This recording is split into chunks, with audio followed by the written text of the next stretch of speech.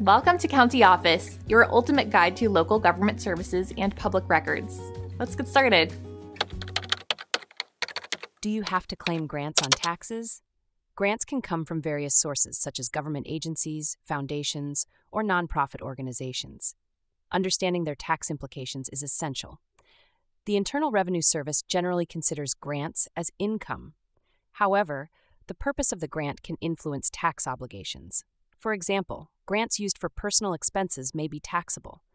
If a grant is designated for specific business or educational purposes, it may not be taxable. This distinction is crucial for anyone receiving grant funds. Certain grants, such as those for educational purposes, may be excluded from taxable income if used for qualified expenses. Examples include tuition and fees. It is essential to keep detailed records of how grant funds are used.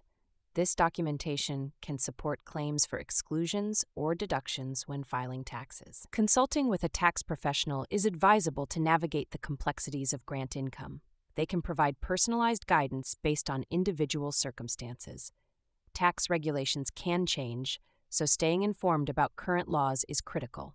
Always refer to the IRS guidelines for the most accurate information regarding taxes on grants.